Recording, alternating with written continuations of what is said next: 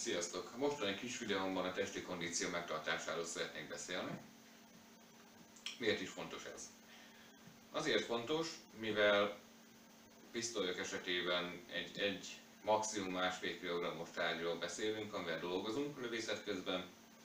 Karabiak esetében viszont 2,5 kg-tól teljesen 4,7 kg-ig terjednek ezek a súlyok. Na most ugye vegyük azt, hogy egy pisztoly esetében, amikor az ember lead egy olyan 150 lövéses tréninget, akkor bizony, akárhogy nézzük, de 150 kg-ot fog megmozgatni a tréning végére, ugyanis a fegyvert azt kézben kell tartania, a fegyvert azt elő kell vennie, és ugye azért van egy ilyen mozdulatunk, amivel megmozgatjuk ezt a, ezt a súlyt. Karabélyok esetében egészen pontosan az én esetemre tudom ezt levetíteni, mivel hogy légfegyverrel gyakorlunk 10 méteres pontlövészetet, így akárhogy is nézik szabadkézben tartásos gyakorlásnál, azért egy Fireworkból 601-es, ami nyom minimum 4 kg egy 40 lövéses feladat végrehajtásnál azért ott van, hogy 160 kg-ot megemelni a tréning végére, hát azért az egy kicsit eléggé húzós. Erre a problémára sajnos én is rájöttem, de is szeretnék itt most nektek bemutatni? A tréninghez szükséges eszközöket. Lehet vásárolni kisebb-nagyobb bevásárló központokban ilyen súlyokat. Ez a gyakorlatban úgy néz ki, hogy felrakod szépen a csuklódra,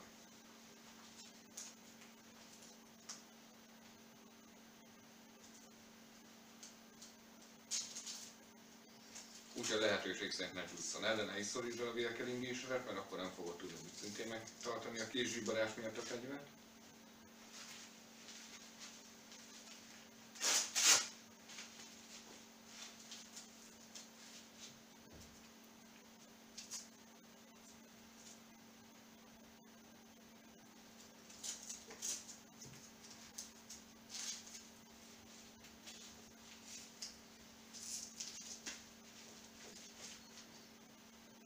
így néznek ki. És akkor ugye lehet vele gyakorolni magát a előrántást. Ez annyival jó, hogy ha gyakorló fegyvert használunk, mint esetünkben ugye ez a gumiberetta, mutatom nektek közelebről. Ott van se elsütő billentyűjük, semmi nincsen. Így ezek a súlyok fél-fél kilogrammosak, hát ez a gyakorló beretta az olyan durva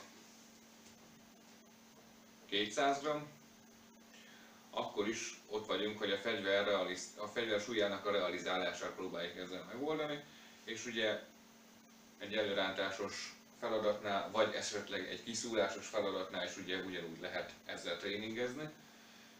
Ezt akkor javaslom, amikor egy olyan konditeremben vagyunk, ahol mások is vannak, vagy tréningfegyvert, vagy ezt használjatok és természetesen előtte meg kell beszélni a trénerrel, hogy megengedi-e, ha nem, akkor saját konditerem a rendelkezésre, akkor ezt úgy tudjuk megoldani. Ott viszont majd a saját konditermelben vagy, akkor már elvileg a saját fegyvereddel lehet gyakorolni, természetesen töltetlenül. Utána jönnek még ezek a 1 kg súlyzócskák, és ugye ezt kézben tartva ugyanúgy meg lehet csinálni például, most elrakom, ugyanúgy meg lehet csinálni a súlyzóval azt a feladatsort, hogy ugye fegyverelőrántás, kiszúrás például, és a többi. Így, hogyha már ezzel gyakorlunk, akkor mindjárt 2 kg-mal fogunk gyakorolni, úgy, úgy, hogy a kezünkön rajta van. Azért is fontos ugye ezeket a súlyokat használni, mert hogyha egy kicsit nagyobb súlyra edzünk, mint a fegyverünk. Így rákészülünk arra, hogy, és tudatosul bennünk, hogy ugye a tokból valószínűleg egy nagyobb tömeget fogunk előrántani, mint amit ugye valójában takar a fegyver súlya. Ezáltal felgyorsul a fegyver előrántása, és úgy fogjuk érezni ezt, mintha egy tolpihét tartanánk a kezünkbe egy gyakorlat után természetesen a saját fegyverünket gyakorlunk. Még ami még lehetséges, ha már a tréning fegyvereket vesszük,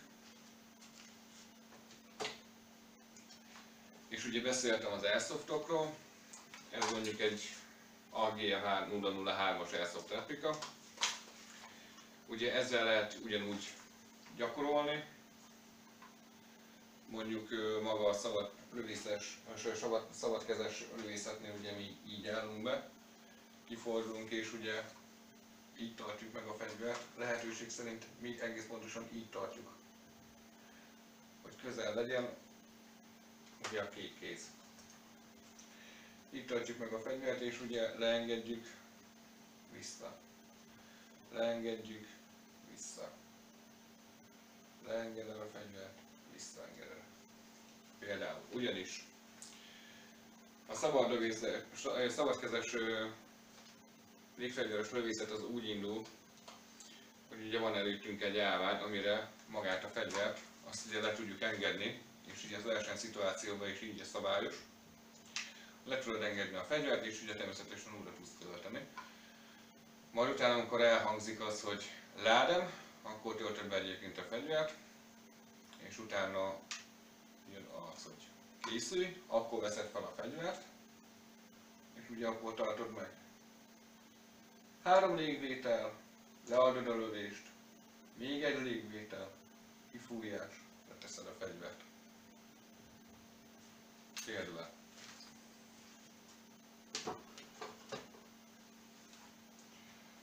Utána jöhet még az is, ha már nagyobb súlyokkal dolgozunk, vagy akarunk dolgozni,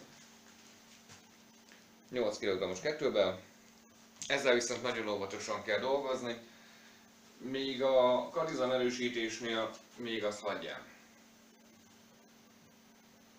De ugye ne csak a kezekre térjünk ki, mert ugye hiába van erős kezed, ha gyenge a törzsed. Jó mondja, nekem van egy baromi nagy hasam, két év alatt, három év alatt feljött rám egy-két kiló, viszont ezt a tömeget még át tudom alakítani én izom, izommá. Ehhez még ugye a gyakorlat, kondíció gyakorlat szükséges lenne egyébként egy fekvenyomópadra, egy normál hosszú kétkezes súlyzóra, és még két normál súlyzóra. Annyi a lényeg, hogy véleményem szerint ugye a kézi súlyzózásnál lehetőségünkhez mérten azért törekedjünk arra, hogy a fegyver kétszeresét ne haladja meg a súlyzónk tömege. Hát ez fontos. Mert hogyha nagy tömeggel dolgozunk, akkor már gyúrunk. Ugye a testépítők nagy tömeggel dolgoznak, ők kevesebbszer fogják kinyomni azt a súlyt, például 50-szer nyomnak ki 50 kg-ot, míg mi 150-200-szor fogunk kinyomni 2,5 kg-ot. A tréningnek a célja nem az, hogy ugye testtömeget növeljünk, testépítők legyünk, hanem az a célja, hogy az izmot szákásítsuk, mert ha az izom tömeg megnő, akkor onnantól kezdve annak az izomnak most saját magát meg kell tartani, és bizony eléggé kellemetlen szituációba kerülhetünk elővészetkor, ugyanis kezed remegni fog, nem lesz stabil a testtartásod, nem lesz jó a testtartásod, és ott van, hogy hát maga a törzs csípő résznek ugye magát ezt a felső részt el kell valahogy viselni és mozdítani és megtartani. Az is a nagyon kellemetlen lehet. Plusz még ugye ott van, hogy be is görcsölhetnek ezek a szépen felépített izmok, úgyhogy erre ne gyúrjunk rá, rákásítsunk. Gyakorlatilag ennyit szerettem volna ezzel a történettel elmondani. Ha találok egy olyan konditermet, aki megengedi azt, hogy a gyakorlatokat be tudja nektek mutatni a videón, akkor azt majd fel fogom nektek ugyanígy rakni a csatornára, hanem akkor majd itthon próbálok nektek valamit eszközölni. Köszönöm szépen a figyelmeteket, remélem ezzel a kis videóval segítettem nektek valamit. Sziasztok!